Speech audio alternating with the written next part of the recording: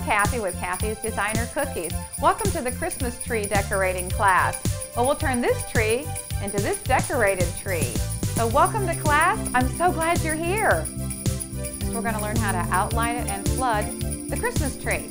So you just follow the edges and the contours of the tree. Doesn't have to be that perfect. All the way around. I like to give it a little bit of a scalloped edge on the bottom.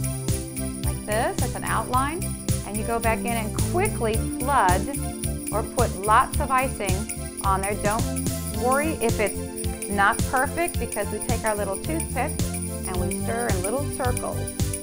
I'm actually touching the cookie underneath. I can feel the cookie working in little circles around and around just like this to fill in all the little gaps and something to make the cookie extremely smooth you don't want to have the cookie have those little bumps and things on it, what I like to do is give it a little tiny shake. What happens is that it will settle out the icing a little bit and will make your cookie very smooth. Once the base of your cookie is dry to the touch, we're ready to decorate the Christmas tree. So I take my white icing, or you can use any color you prefer, and do a very simple garland, just like this.